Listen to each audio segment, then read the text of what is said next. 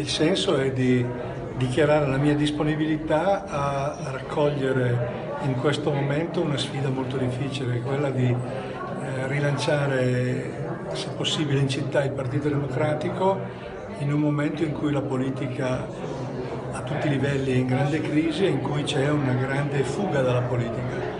Quindi la, la, mia idea è dichiarare questa disponibilità a dire la politica è qualcosa di importante che eh, non è più il momento di starsene fuori, criticare, ma provare a sporcarsi le mani, mettersi in gioco e dare la propria disponibilità per quello che, che, che sarò capace di fare per eh, dare una mano al partito, ma soprattutto alla città.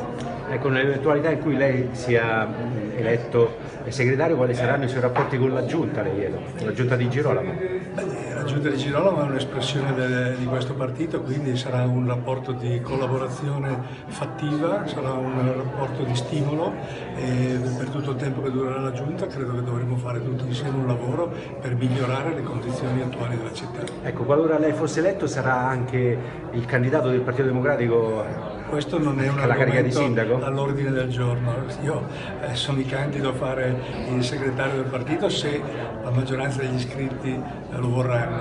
Eh, dopodiché quando il partito avrà e eh, dovrà decidere i passaggi eh, successivi, futuri, eh, ci sarà l'intero partito che sarà in grado di decidere e scegliere. Una... Che valutazione dà dello stato di salute del PD a Terni in questa fase?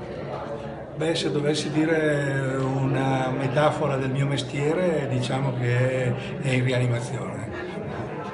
C'è un'area di riferimento al partito al quale fa, lei, lei, fa riferimento? Appunto. Guardate, io ho una storia anche politica che voi conoscete, eh, sono stato parlamentare dell'Ulivo, quella è la mia estrazione, non ho mai avuto tessera di partito tranne quella dell'Ulivo, la prima che ho è del, tre giorni fa del Partito Democratico, in cui credo in questo Partito Democratico, credo vorrei però essere considerato un eventuale segretario di tutto il partito, questo mi interessa. Io non ho un'area di riferimento precisa, ma io credo che sia il momento cui tutto il partito si debba mettere in discussione e si debba mettere a lavorare per rilanciare l'immagine stessa del partito. Come si fa ad arginare i populismi, le chiedo?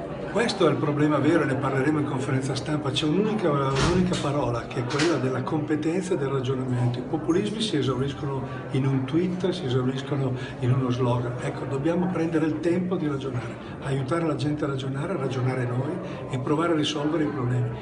Grandi problemi richiedono difficili soluzioni, non ci sono soluzioni facili a grandi problemi e lo sloganismo dei populisti non porta da nessuna parte.